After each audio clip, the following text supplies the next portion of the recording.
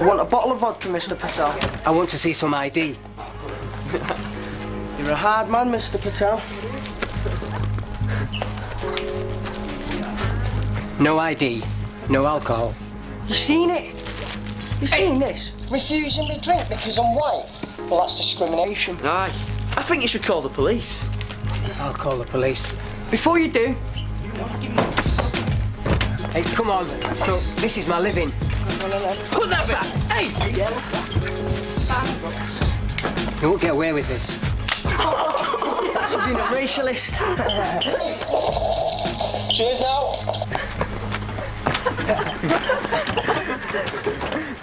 Where's the paper cups? Oh, Davina, happy in your new job? Yes, thanks. Uh, we've had a phone call from a Mr. Patel, the local shop. Right. Uh, could we meet up later, Roger? Say, last period? Sure.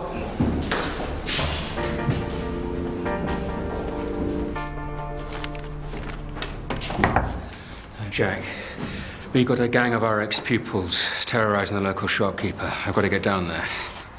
You want to use my car? I want you to come with me.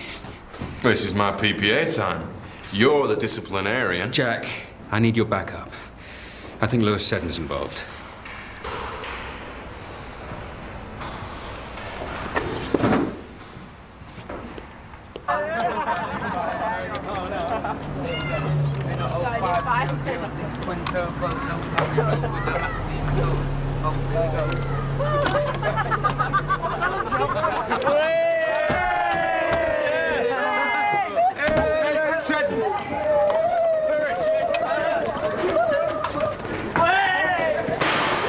Why do you let them run riot? They're no longer with us, Mr. Patel. At Waterloo Road. What do you mean? Half of them are little kids. They've been excluded. Half the school's been excluded. Now they run riot on the estate. My business, it's ruined. You know how much for security? Eight thousand pounds a year. Cameras and alarms and insurance. You two, you just wash your hands. Not your problem. Have you tried calling the police? If the police could help, why is he a prisoner in his own shop? They slash your tires. Threaten your children, your wife. I'm sick of it. No one can run a business here now.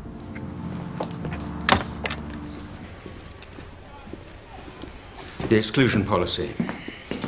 We're going to have to rethink it. Oh, when it's working so well. It's causing havoc out there.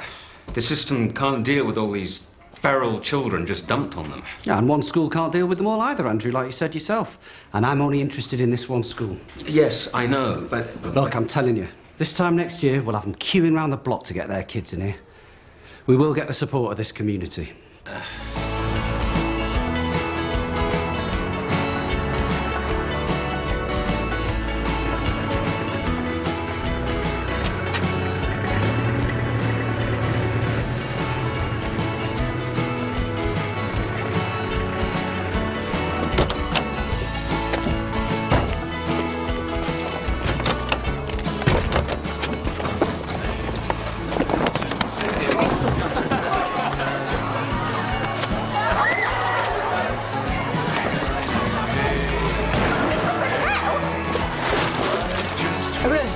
I don't bloody care. I've got nothing left. Nothing.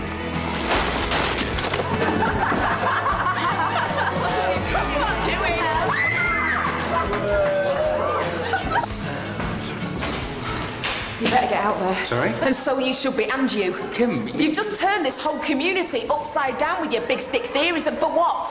Hey, to show us all how tough you are or to pander to his gigantic ego? Kim! Just look out of the window. We are the enemy now, Andrew. Do you know what? It was bad enough when it was you on your own. Now you've teamed up with that moron. what a mess.